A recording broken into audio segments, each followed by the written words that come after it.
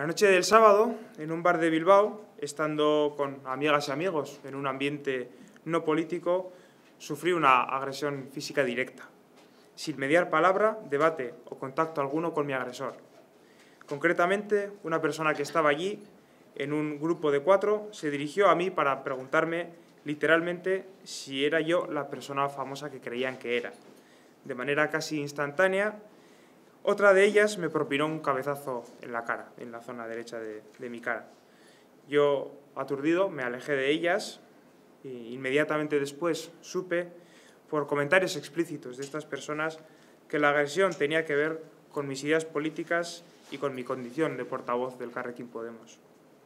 El agresor, por la información fidedigna de que disponemos, se mueve en la órbita de ATA.